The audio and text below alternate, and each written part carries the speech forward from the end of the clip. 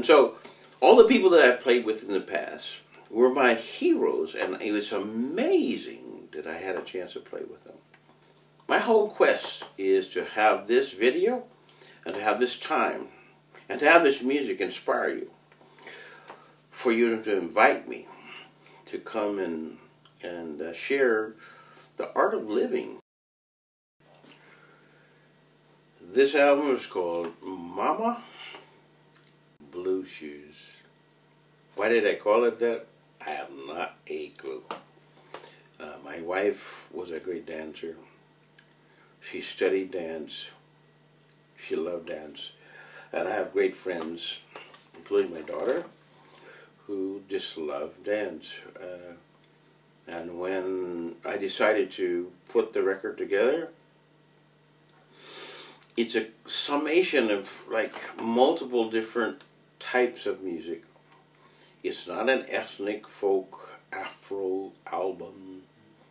It's a very accessible album that has great storytelling to it. The first song is called Daganzo, and Daganzo is a place in the outskirts of Madrid.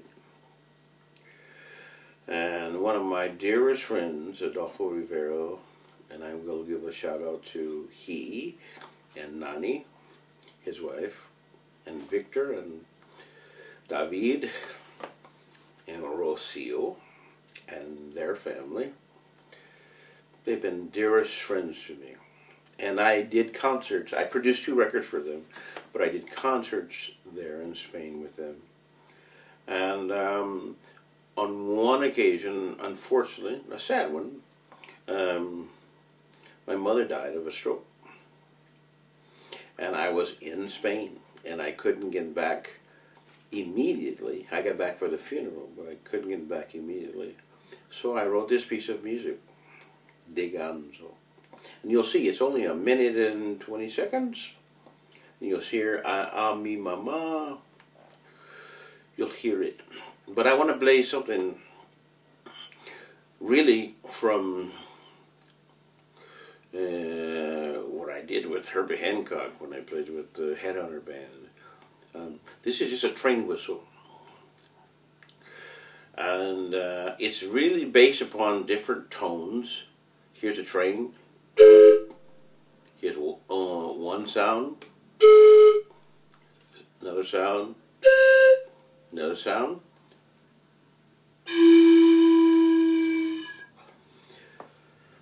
And these incredible musicians from around the world, and this is what I want to share with you, is that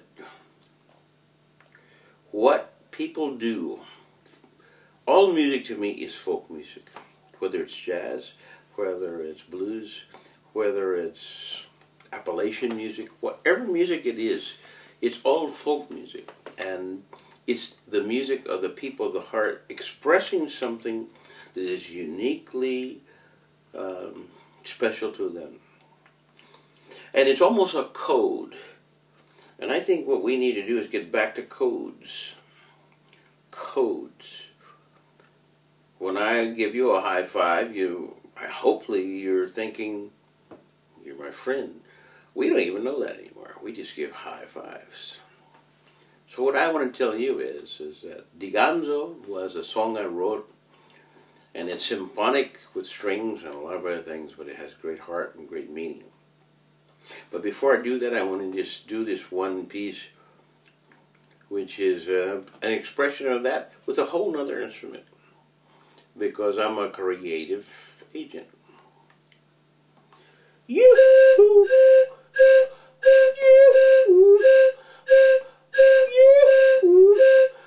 Now what am I doing? There's only one note. What I'm doing with my voice. You.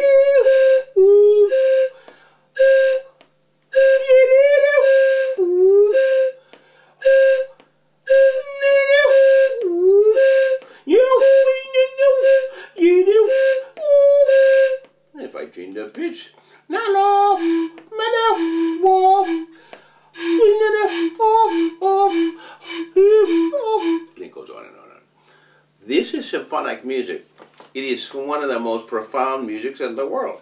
It comes from Babenzele Pygmy music, and uh, it's music that comes from the sub-Saharan desert. It's polyphonic. It's rhythmic. It's difficult. Try it, try it, try it.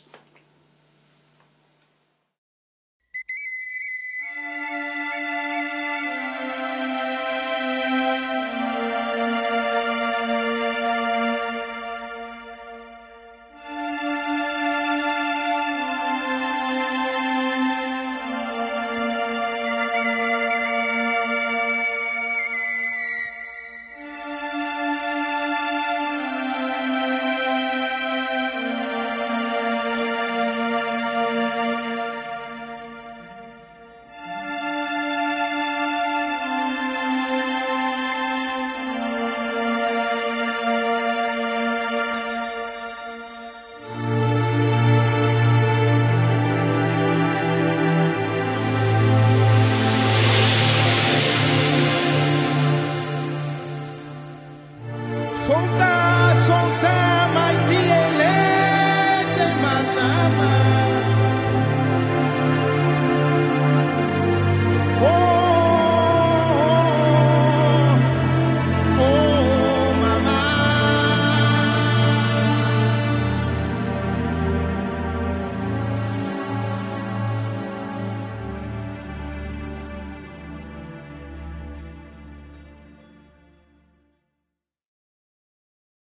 The second song on Mama Blue Shoes is called Reaching Out.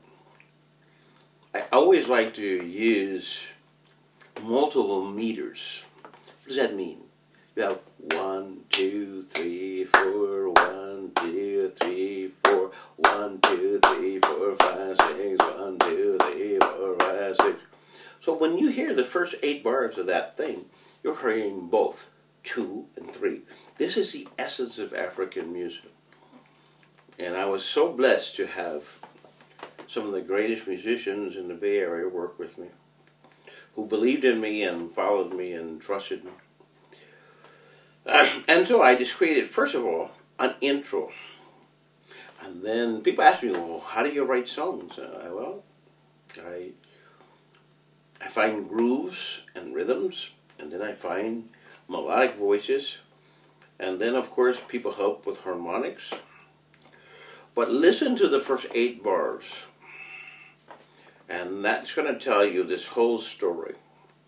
And then there's pretty a straight ahead feeling, a very accessible verse, and a very accessible melody.